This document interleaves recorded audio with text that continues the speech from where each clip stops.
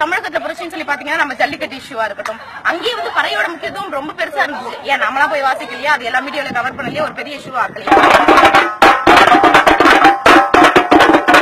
கோடி மக்கள் வந்து பார்த்துட்டு இருக்காங்க சொல்றோம் ஏழு கடல் தாண்டி ஏழு மலை தாண்டி இருந்தாலும் எங்க சசிகலா அம்மா என்ன சொல்றாங்களோ அவங்களோட ஆட்சி தான் நடக்கும் தினகரன் ஐயா ஆட்சி தான். அவர் சொன்னது வந்து ஜெயலலிதா அம்மா இருக்கும்போது சொன்னாங்களா? அப்படி இருக்கிறப்ப மீடியாலே இவ்வளவு பட்டபகல சொல்றாங்கன்னா இந்த மக்களால என்ன செஞ்சிட முடியும்? அவங்களால எதிர்த்து என்ன பண்ணிட முடியும்ன்ற ஒரே ஒரு விஷயம் தான்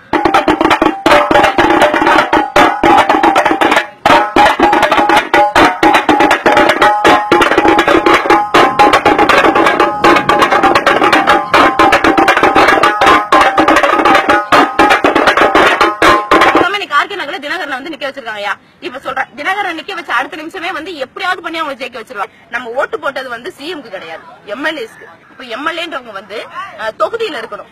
இப்ப இந்த கூவத்தூர் பிரச்சனை வந்தப்ப ஒரு எம்எல்ஏ கூட தொகுதி பக்கமே போகலன்னு சொல்லிட்டு மக்கள் அவ்வளவு போறாங்க ஆனா கொஞ்சம் கோவத்துல தான் இருக்காங்க. பயங்கரமான கோவம் வெறியில இருக்காங்க. என்ன கோவம் என்ன பிரயோஜனம்? தேர்தல் வந்தா மறக்க போறாங்க.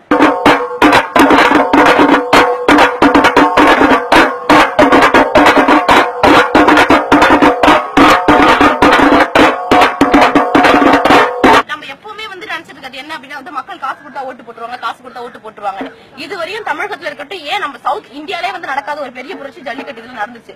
உண்மையாவே ஓட்டு போட்டது எனக்கு என்ன அப்படின்னு நினைச்சிருந்தா அப்படின்னா அது நடந்திருக்காது. போராட்டத்துக்குள்ள வந்தவங்க என்னென்னமோ பேசுறாங்கன்னு. என்னென்னமோ பேசல. தமிழ்நாட்டுல நடந்த பிரச்சனைகளை பத்தி தான் பேசணும். இருக்கிறவங்க எல்லாருமே வந்து ஏன் வந்து உட்கார்ந்துருக்காங்க அப்படின்னா ஓட்டு போட்டவங்க சரியில்லை. நம்ம தேர்ந்தெடுத்த எம்எல்ஏக்கள் வந்து நம்மளுக்கு எந்த உறுதுணையும் இல்லைன்னு சொல்லிட்டு வெளியே வந்தவங்க அந்த மக்கள் கூட்டம். எத்தனையோ பேருக்கு பயப்படாதவங்க இந்த மாணவர்கள் கூட்டத்துக்கு பயப்படாம ரீசன் மாணவர்கள்ட்ட ஸ்ட்ரென்த் இருக்கு என்ன டவுட்னா இப்ப உச்சவேலி நின்று அப்படி பேசுறோம் இப்ப நம்ம பேசுறதா அவங்க கேட்க போதா ஒரு எம்எல்ஏ இருக்கிறானா என் மக்களா எனக்கு ஒரு ஸ்டூடெண்டாவோ இல்ல எது- ஒரு தனிநபரா வந்து எனக்கு ஒரு ஆதங்கம் இருக்கும். இந்த எம்எல்ஏ கிட்ட நீ ஏன் இப்படி பண்ண? நீ எதுக்கு இவனுக்கு சப்போர்ட் பண்ண? எதுக்கு இப்படி நடந்தது? ஏன் மக்களை கண்டுக்கல? எனக்கு கேட்கணும்னு ஆதங்கம் இருக்கும். எல்லா ஓட்டையும் போட்டுருங்க மத்ததெல்லாம் அவங்க பாத்துக்குவாங்க பெங்களூர்ல இருக்காங்க ஜெயிலுக்குள்ள. அவங்க சூப்பர்பா அவர் கிளம்பிடுவாரு.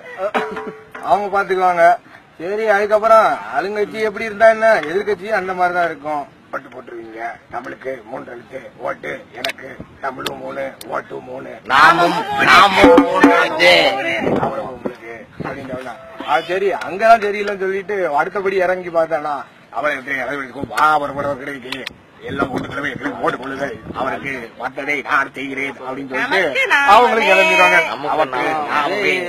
போடு. கிளம்பிடுவாரு. இவங்களே கையெழுத்து போடுவாங்க இவங்களே ப்ரொடெஸ்ட் பண்ணுவாங்க.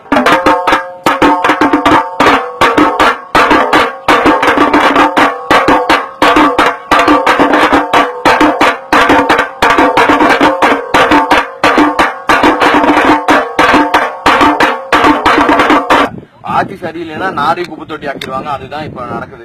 இந்தியாவோட இருக்கிறவங்க தட்டி கேட்கணும் முதல்ல மாணவர்களா இருக்கட்டும் மக்களா இருக்கட்டும் நேரடியா ஆட்சியில இருக்கவங்களை தட்டி கேட்க உண்மையாவே மக்கள் ஆகிய நாம நம்மளோட கோவத்தை வெளிப்படுத்துறதுக்கு இது ஒரு தருணமா எடுத்துக்கணும். வர ஞாயிற்றுக்கிழமை வள்ளுவர் கோட்டத்துல பத்தொன்பதாம் தேதி காலையில ஒன்பதுல இருந்து ஒரு மணிக்குள்ளார நம்மளோட உணர்வுகளையும் உணர்ச்சிகளையும் அடக்கி ஒடுக்கினவங்களுக்கு நம்ம தட்டி கேட்கிறோம் போறோம் ஜெயிக்கிறோம்.